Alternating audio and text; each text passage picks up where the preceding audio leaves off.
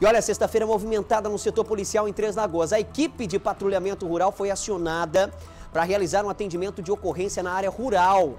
O que, aconteceu? Um furto.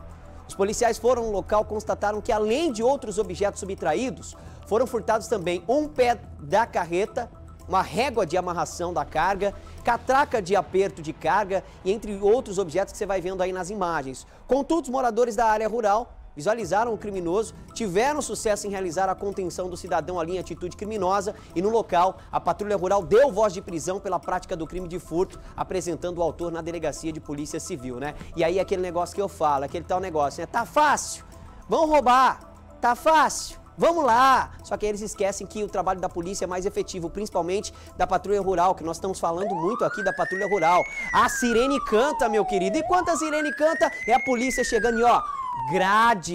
Esses aí vão ver, vão ver o, o, o sol. Na verdade, vão ver não, né? Já viram o sol nascer quadrado, né? Complicada a situação.